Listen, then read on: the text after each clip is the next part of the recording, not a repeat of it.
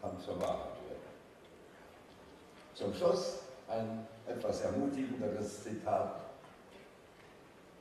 Meine Überzeugung mit Brecht, es wechseln die Zeiten. Die riesigen Pläne der Mächtigen kommen am Ende zum Halt. Und gehen sie einher auf wie blutige Hände. Es wechseln die Zeiten. Da hilft kein Gewalt. Und die letzte Zeile kennen wir alle. Am Grunde der Moldau wandern die Steine. Es liegen drei Kaiser begraben in Prag. Das Große bleibt groß nicht. Und klein nicht das Kleine.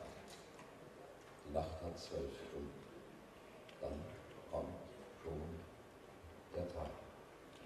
Ich wünsche euch eine wunderbare Tagung.